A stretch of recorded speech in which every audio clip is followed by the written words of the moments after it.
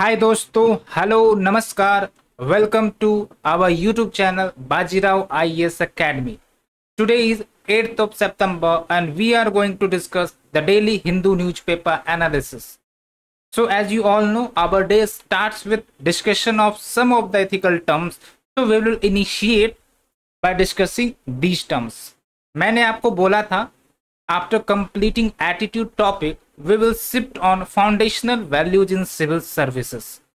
So first of all, I want to ask you a question. What do you mean by foundational values? And also, what do you mean by civil servants? Civil servants kon hai? So definitely when we talk about civil servants, these are the people, these are the officers who try to promote justice among the society, to promote justice there is a need कि कुछ foundational values in civil servants के अंदर होने चाहिए। Otherwise जो ये public में serve करेंगे, इनके अंदर लेट से कि जस्टिस नहीं है, इनके अंदर इंटीग्रिटी नहीं है। तो जो बेसिक कोर ऑब्जेक्टिव है हमारे संविधान का, जिसमें इक्वलिटी की बात करी गई है जस्टिस इम्पोज करने की बात की गई है, चाहे वो गरीब हो या फिर अमीर हो तो वो तो इम्प्लीमेंट नहीं हो सकेगा ना।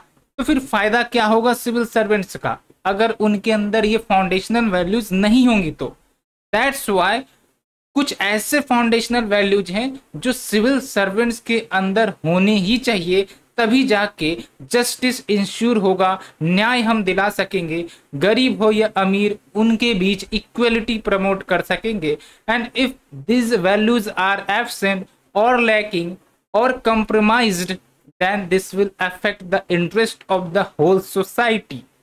That's why there is a need of foundational values and in the constitution, in the bureaucratic rule book, we have provided with some of the foundational values and also जब आप ट्रेनिंग के लिए पहुँचेंगे लवासना में तो आपको ये फाउंडेशनल वैल्यूज़ भी सिखाई जाती हैं तो दैट्स वाई आपको कुछ इंपॉर्टेंट पॉइंट्स ध्यान में रखने हैं, जो फाउंडेशनल वैल्यूज़ के लिए काफ़ी ज़्यादा महत्वपूर्ण होते हैं। और ये टॉपिक बेहद ही महत्वपूर्ण है एग्जामिनेशन पॉइंट ऑफ़ व्यू से भी, क्योंकि अगर आप पी वाई क्यू एनालिसिस करेंगे डेफिनेटली यू विल आइडेंटिफाई बहुत सारे क्वेश्चन इसके अंतर्गत पूछे गए हैं। बिकॉज़ ये आपका अम्ब्रेला टर्म है, इसके अंतर्गत एक एक वैल्यूज़ पर क्वेश्चंस आता है एक एक टर्म्स पर क्वेश्चंस आते हैं। So definitely we are going to complete all these terms in a simple, lucid manner. तो क्या कुछ फाउंडेशनल वैल्यूज़ हैं? जैसे इंटीग्रिटी की बात करते हैं।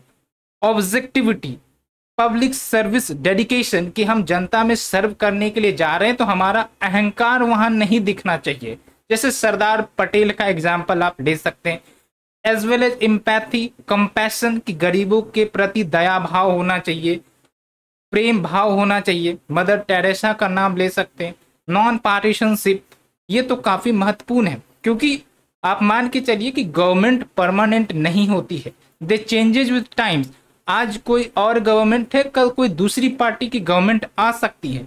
And if that is the case तो हमें किसी भी पॉलिटिकल पार्टी से जुड़ने का या ज़्यादा इंटरेस्ट इंक्लाइंड रखनी नहीं चाहिए। क्योंकि हमारा मेन एम क्या होना चाहिए कि जो संविधान है, उसके प्रति हम चले। वो हमारा आइडियल बुक होना चाहिए, रूल बुक होना चाहिए। तो that's why non partisanship is also very very important तभी हम न्याय दिला सकेंगे। तभी हम diverse interest of the people के इंटरेस्ट को फुलफिल कर सकेंगे। है ना? तो ये सब कुछ foundational values there are many more जैसे न्यूट्रलिटी ये हो गया ऑनेस्टी ऑनेस्टी नहीं रहेगी तो आप जस्टिस कर ही नहीं पाइएगा। आप मान के चलिए, लेट से कोई जज फैसला सुनाता है, उसके अंदर ऑनेस्टी की कमी है न्यूट्रलिटी की कमी है तो क्या वो जस्टिस दिला पाएगा? भले ही वो कोर्ट में ऑर्डर दे दे, लेकिन जस्टिस तो नहीं दिला पाएगा ना। That is the importance of foundational values and इसे सीखना होता है कल्टिवेट करना होता है ये अचानक से नहीं आएँगे। धीरे धीरे कल्टिवेट करवाया जाता है एक्सपीरियंसेस के माध्यम से एक्टिविटीज़ के माध्यम से। And by understanding the broader perspective of the society, broader interest of the society, that is the principles. And एक एक कर कर हम आने वाले समय में इन सब टॉपिक्स पर चर्चा करेंगे बिकॉज़ ये आपके केस स्टडी में भी काफ़ी महत्वपूर्ण रोल निभाएगा सॉल्व करने के लिए। ठीक है? तो आज हमने आपको बेसिक ओवरव्यू दिया। In the coming lecture we will talk about integrity objectivity क्या है इम्पैथी क्या है कंपैशन क्या है इन सब टॉपिक्स पर हम चर्चा करेंगे। सो so, आपको बने रहना है हमारे साथ। हम इसी प्रकार का इनिशिएटिव आपके लिए ला रहे हैं जो आपके एग्जामिनेशन के इंटरेस्ट के अकॉर्डिंग होगा। कोई डाइवर्सिफिकेशन हम नहीं करेंगे। जो आपका एग्जामिनेशन पॉइंट है उसको ध्यान में रखकर वेरियस इनिशिएटिव्स लाया जा रहा है। Please do like share and subscribe अगर आपको हमारा इनिशिएटिव अच्छा लग रहा है तो। नाउ हमें आज दो इंपॉर्टेंट आर्टिकल्स पर डिस्कशन करना है। पहला हम देखेंगे कि जो अभी आसियान इंडिया का समिट हुआ है, आखिरकार उसमें क्या आउटकम निकले हैं। एंड सबसे इंपॉर्टेंट बात कि हम यहाँ बेसिक से अंडरस्टैंड करेंगे। बिकॉज़ अगर हम एनालिसिस करें पीवाई क्यू का तो इसमें आपका एशियान से प्रिलिम्स में भी क्वेश्चन पूछे गए हैं। एज वेल एज मेंस में भी क्वेश्चंस पूछे गए हैं। ठीक है? तो आपको थोड़ा सा एंगल ध्यान रखना है और हम बेसिक्स से यहाँ पर डिस्कशन करेंगे। जैसे कि आशियान क्या है, कैसे वो बना, कब बना और इंडिया का क्या इंटरेस्ट है यहाँ पर एंड कैसे भारत अपने इंटरेस्ट को कैटर कर सकता है। इंडो पैसिफिक रीजन की बात करें या फिर एक्ट ईस्ट पॉलिसी की बात करें तो ये सब पॉलिसी भारत क्यों चलाता है? बिकॉज़ हम ASEAN as well as South East Asian countries के साथ कोलेबरेट कर सके अपने कॉमन इंटरेस्ट को लेकर। That is the point now the second article we will be dealing with it it will be related to the guidelines issued by RBI related to the interest rate. तो basically अभी आपका guidelines जारी किया गया है regarding floating rate of interest और the fixed rate of interest तो ये क्या है? और ये प्रिलिम्स के लिए काफ़ी ज़्यादा महत्वपूर्ण हो जाता है। तो हम यहाँ पर बेसिक से डिस्कस करेंगे कि रेपो रेट क्या होते हैं। एक्चुअली इसका इम्पैक्ट मनी सप्लाई पर क्या होता है। रिवर्स रेपो रेट क्या होते हैं। As well as what is the difference between fixed interest rate और the floating interest rate and what is the advantages और the disadvantages we all are going to discuss in this topic so before starting our discussion first of all you have to attempt the question related to the UPSC means. The question is ASEAN and India has various converging interests in terms of geopolitics, economy, security as well as culture. Comment how India is approaching to meet its interest while taking care the interest of the ASEAN nation.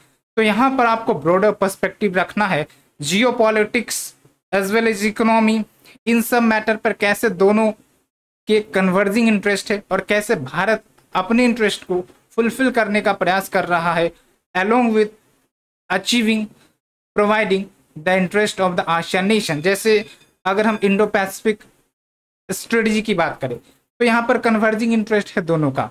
दोनों चाहते हैं rule based Indo Pacific region होना चाहिए as well as free and inclusive होना चाहिए, सबके लिए accessibility होना चाहिए लेकिन आपको पता है ना, चाइना जो है यहाँ पर अपना पॉलिसी ऑफ़ इंपीरियलिज्म वाला नीति अपनाता है, जहाँ पर सारे साउथ चाइना सी को वो अपने कंट्रोल में दिखाता है वेरियस मैप इश्यू जारी करता है। तो ये सब कुछ पॉइंट्स जो आपको ऐड करने हैं। मैंने एक पॉइंट दिया, आप बहुत सारे पॉइंट ऐड करेंगे। इनफैक्ट जो मैं आर्टिकल डिस्कस करने वाला हूँ that will give you sufficient point sufficient point कि आप आंसर लिख सकते हैं। Now you have to attempt P Y question related to prelims और यहाँ पर आप देख सकते हैं it is also related to the ASEAN free trade partner तो आप इसे अटेम्प्ट करिए पाउज करके and definitely you will be going to benefit Now shifting our focus to our editorial discussion, the first article will be related to GS paper 2 and you will link with this topic. So first of all, I want to ask you a question. What do you mean by ASEAN and what is the number of members in the ASEAN group? तो stand for Association of South East Asian Nations ठीक है? ये एक regional grouping है, दस members का। कैसे याद करना है? तो आप देखिए यहाँ पर, जो आशियान है, ये पाँच अल्फ़ाबेट से बने हैं A S E A N तो पाँच को आप दो से मल्टीप्लाई कर दीजिए टोटल टेन हो जाएगा। That will be the ten members in the ASEAN कौन कौन से मेंबर्स है? याद रखना है आपको, क्योंकि ऐसे क्वेश्चंस पूछे जाते हैं। तो पहला आप म्यांमार को देख लीजिए। और जब मैं आपको मेंबर्स गिना रहा हूँ तो आपके दिमाग में मैप चलना चाहिए।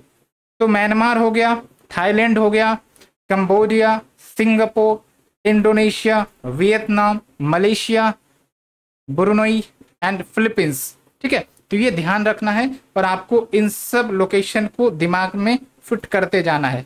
अब यहाँ पर आप देखिए, मैं आपसे पूछूँ कौन मेंबर्स नहीं है। तो आप न्यूजीलैंड को देखेंगे कि न्यूजीलैंड मेंबर नहीं है। आप ऑस्ट्रेलिया को देखेंगे तो ऑस्ट्रेलिया मेंबर नहीं है। तो ऐसे आपको सोचना है और आगे बढ़ना है। That will help you in fetching marks in the world mapping because world mapping से लगभग सात से आठ क्वेश्चंस आते हैं। इस बार भी आया था। तो क्या आपने इस बार के प्रीलिम्स क्वेश्चंस देखे हैं? If not definitely you should visit that because वही आपका एक प्रकार से संविधान होगा आपके एग्जामिनेशन के लिए। तो आपको वो भी विज़िट करना चाहिए। तो हमने बेसिक्स देखा, अब थोड़ा सा हम हिस्टोरिकल बैकग्राउंड की बात करते हैं। तो आशियान के बारे में मैंने बोला it is a regional grouping and it aims to promote economic and security cooperation among its members and also if you talk about its establishment तो 8 अगस्त 1967 को इस्टेब्लिश किया गया था Bangkok which is in Thailand and that's why जो declaration का नाम हुआ, वो है आपका बैंकॉक डिक्लेरेशन या फिर आसियान डिक्लेरेशन बेसिकली जो डिक्लेरेशन इश्यू की जाती है ना, वो जिस लोकेशन में मीटिंग हुआ इनिशिएटिव हुआ, उसके नाम से दे दिया जाता है। लेट से कि न्यू दिल्ली में कोई मीटिंग होती है आसियान की तो वहाँ से कुछ आउटकम निकलते हैं तो फिर न्यू दिल्ली डिक्लेरेशन हो जाता है वो। उसी प्रकार से यहाँ पर आप देख सकते हैं बैंकॉक डिक्लेरेशन ध्यान रखना है आपको, ये बैंकॉक डिक्लेरेशन प्रिलिम्स के लिए भी पूछे जा सकते हैं। तो जो उस समय फाउंडिंग फादर्स थे एशियन के वो Indonesia Malaysia Philippines Singapore and Thailand फिर बाद में इसमें और मेंबर्स जुड़े and it will led to ASEAN and the motto of ASEAN is one vision one identity one community that is the point also if you talk about the secretariat ASEAN Secretariat is located in Jakarta, which is in Indonesia. And first ASEAN summit, which was held in 1976, and in this summit, member country pledged to work towards regional peace and stability. That's why they are coming together. Because regional peace and stability काफ़ी महत्वपूर्ण होता है किसी भी देश के growth के लिए जहाँ पर पीस एंड स्टेबिलिटी नहीं वहाँ पर ग्रोथ नहीं ये बात आप मान सकते हैं पाकिस्तान का एग्ज़ाम्पल आप ले सकते हैं ठीक है अफ़गानिस्तान का एग्ज़ाम्पल ले सकते हैं, सीरिया का एग्ज़ाम्पल ले सकते हैं, ये मैंने कुछ पॉइंट्स आपको बताया। अगर हम इकोनॉमिक एस्पेक्ट की बात करें आशियान की, जो बताता है कि क्यों इंडिया को और ज़्यादा इंगेज करने की ज़रूरत है एशियन के साथ तो आप देखिए, अगर हम पॉपुलेशन की बात करें, लगभग six six two million people resides here and also the combined gross GDP is 3.2 trillion dollar as of 2022 अगर हम आपसे एक क्वेश्चन पूछे what is the GDP of India in terms of dollar तो आप हमें कमेंट सेक्शन में बताइए, क्योंकि ये भी काफ़ी ज़्यादा चर्चा में रही थी। Now what opportunity does ASEAN provides for India that is very very important point you need to understand as also to answer the question that we have asked you अब तो it is first of all potential market third largest market ASEAN है in the world as well as convergence of Indo Pacific strategy जो ASEAN विचारधारा रखता है Indo Pacific को लेकर। वही विचारधारा इंडिया का भी है। That is rule based Indo Pacific ऐसा नहीं हो कि किसी एक देश का या चाइना का वहाँ पर डोमिनेंस हो जाए। Along with India believes in activist policy, ASEAN do also believes in activist policy. Along with countering China's influence, जिस प्रकार से आप देख रहे हैं साउथ चाइना सी में चाइना का क्लेम कितना ज़्यादा बढ़ता है। एंड इससे कहीं ना कहीं जो आशियान देश हैं which are associated with South China Sea उनके इंटरेस्ट पर प्रभाव पड़ता है। तो that's why this is the broader aim of founding China's influence along with the ASEAN's role in India's North East states development is very very important because they are proximate to the ASEAN nations आप देख लीजिए ना, जो आपके अरुणाचल प्रदेश है या फिर नागालैंड है या फिर आपका मिजोरम है सब आपके म्यांमार के साथ टच करते हैं, बॉर्डर करते हैं अलोंग विद जो आपके other South East Asian nations है, वो भी काफ़ी ज़्यादा क्लोज प्रोक्सिमेट में है। तो trade and prosperity and investments in region पर आ सकती है, अगर हमारा रिलेशंस इन ग्रुपिंग्स के साथ अच्छा बनता है तो। Along with important for the rule based order for security architecture in the Indo-Pacific region. So we have talked about significance. Now, what is the areas of cooperation between India and ASEAN? तो एक तो ये कि annual summit होता है ASEAN का वहाँ पर इंडिया रिप्रेजेंट करता है अपने आप को अपने इंटरेस्ट को as well as the interest of the global community तो अभी आप देखिए हमारे प्राइम मिनिस्टर वहाँ विज़िट किए थे जकार्ता इंडोनेशिया में और वहाँ पर इंडिया आसियान समिट भी हुआ एंड वहाँ पर भारत ने अपने कुछ पॉइंट्स भी रखे। We will discuss that point as well and अगर हम ट्रेड एंड इन्वेस्टमेंट के पर्पज से बात करें तो इंडिया और आसियान के बीच फ्री ट्रेड एग्रीमेंट है। Free trade agreement is an agreement जिसके तहत जो भी प्रोडक्ट्स हम एक्सपोर्ट या इंपोर्ट करते हैं इन देशों से तो उस पर काफ़ी ज़्यादा हमें कंसेशन मिलता है रिबेट मिलता है, ताकि ट्रेड बूस्ट हो सके इकोनॉमिक इन्वेस्टमेंट प्रमोट हो सके। and if you talk about ASEAN तो it is India fourth largest trading partner along with regional connectivity भी बूस्ट करने का प्रयास किया गया है through project like India Myanmar Thailand trilateral highway Kaladan multi modal transit transport project And if you talk about defense and security, it is like we have various meetings with the defense minister of ASEAN like ASEAN Defense Ministers meeting plus along with there are various maritime exercises that we conduct with the ASEAN nations. So that is the point. Now other areas of cooperation it is related to education and research like ASEAN India Center was established to promote research and studies on the ASEAN India relations and funding of various projects via financial assistance has been provided to ASEAN countries like ASEAN India Cooperation Fund, ASEAN India Science and Technology Development Fund. Why I have highlighted these terms because you have to use in the main answer writing otherwise your answers will look superficial that's why it is very very important कि आप link करिए answers को link करना जरूरी है now recently अभी आपका ASEAN India summit हुआ। व्हाट इज़ द आउटकम इस आउटकम पर ध्यान रखना है। ट्वेल्व पॉइंट प्रपोजल भारत ने रखे हैं to expand the India ASEAN relation this is related to promoting connectivity trade digital transformation as well as rule based post COVID world order ये ज़रूर ध्यान रखना है। Rule based post COVID world order along with multimodal connectivity and economic corridor establish करने की बात की गई है, जो साउथ ईस्ट एशिया को लिंक करेगा इंडिया को लिंक करेगा वेस्ट एशिया एंड यूरोप को। Why this connectivity because connectivity promote trade connectivity promotes tourism connectivity promote the closeness the collaboration without connectivity no development no economic cooperation no social cooperation that is the core issue which is related to connectivity also Prime Minister's call for collective fight against terrorism, terror financing, and cyber disinformation. Remember the keyword cyber disinformation because it is very getting frequent in the news because of increasing threats due to the cyber related crimes. And also India believes in a code of conduct for South China Sea जहां पर जो nations है उनको UNCLOS यानी कि United Nation laws of seas के जो provision है उनको पालन करने के लिए कहा है। ये किसके रिस्पेक्ट में कहा होगा? चाइना के रिस्पेक्ट में। Because China South China Sea को पूरा क्लेम करता है। नाइन डैश लाइन आपने सुना होगा।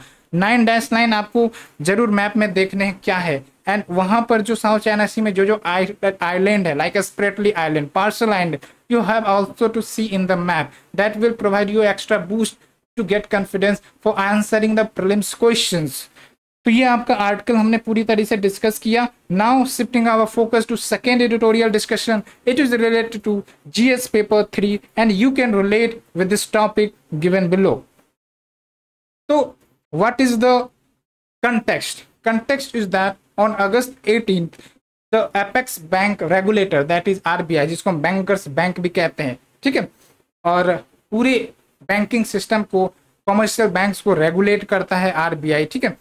तो गाइडलाइंस इश्यू की गई थी, जिसके तहत जो बोरोवर है बोरोवर मतलब यार, जो पैसे बोरो करते हैं बैंक से तो एक गाइडलाइन इश्यू किया गया, जिसके तहत बोरोवर्स वो ट्रांजिट कर सकते हैं from floating interest rate based loan to one with a fix interest rate तो what is the difference between the two we will understand in the coming slide but keep patience ठीक है?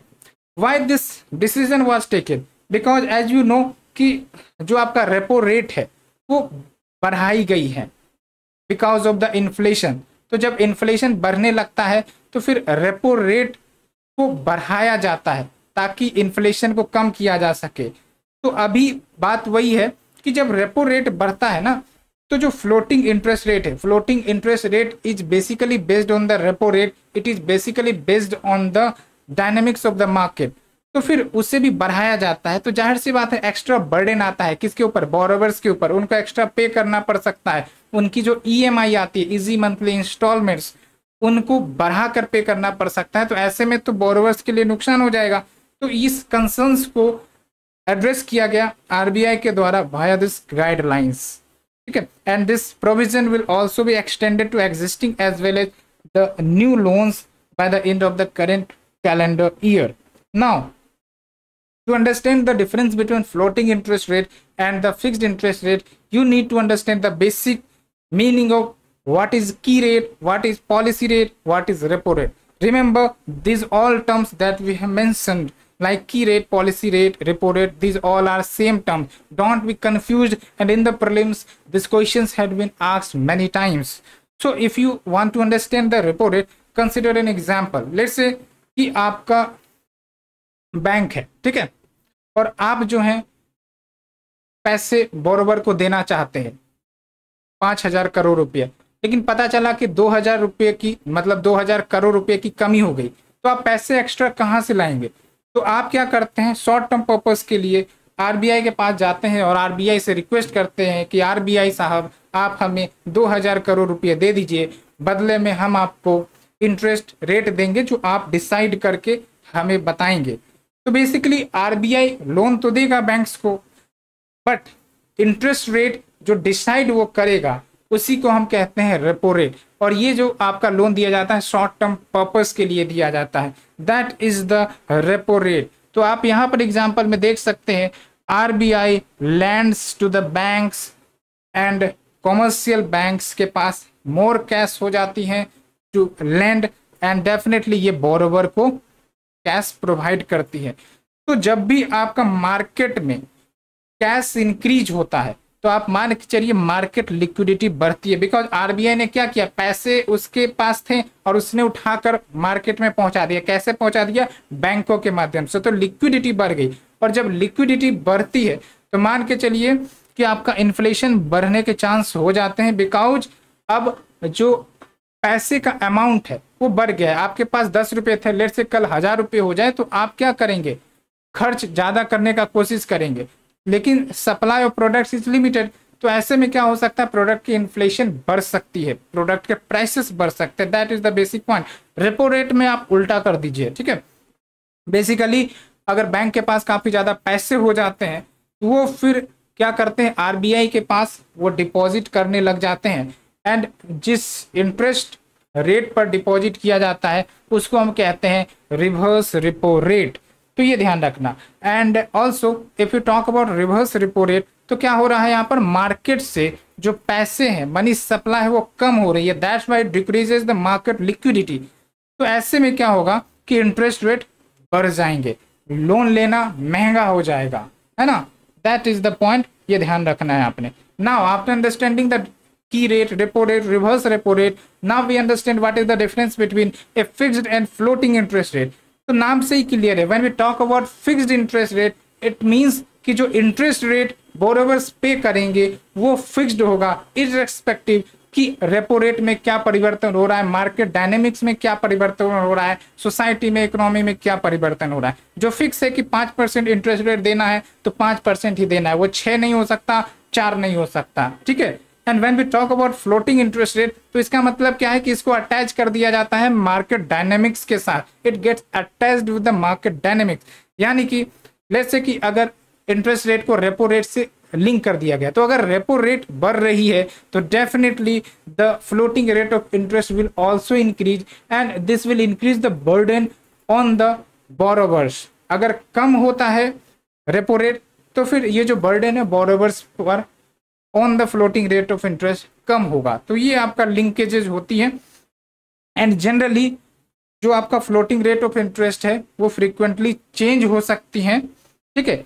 Why because वो repo rate पर depend करती है। लेकिन fixed rate of interest में क्या होता है?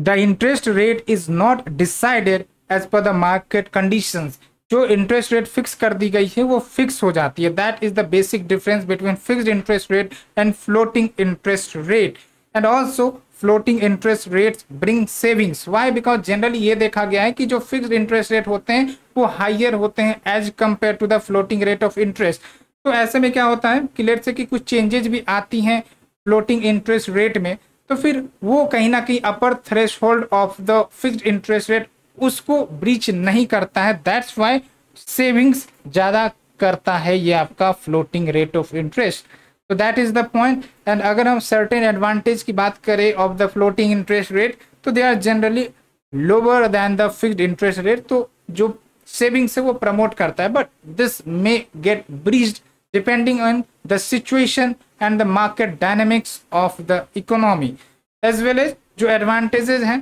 सेविंग्स के, या फिर low interest of the floating rate वो ट्रांसमिट हो जाते हैं to the borrowers savings and also ये भी ध्यान रखना है आपको कि जो फ्लोटिंग इंटरेस्ट रेट लोन्स है, यानी कि जो लोन दिए जाते हैं as per the floating interest rate they do not draw any prepayment penalty क्या है ये आपका प्री पेमेंट पेनाल्टी बेसिकली क्या होता है, जब आप लोन लेते हैं तो डेफिनेटली आपको टर्म बाई टर्म डिपॉजिट करना पड़ता है। लेट से कि आपके पास बहुत सारे पैसे आ गए और आप जो है, सारे पैसे को बैंक को रिटर्न करना चाहते जो आपने बोरो किया था। तो एक तो ये कि आप टर्म बाय टर्म रिटर्न करें। दूसरी ऑप्शन ये कि आप पहले ही सारे पैसे रिटर्न कर दे।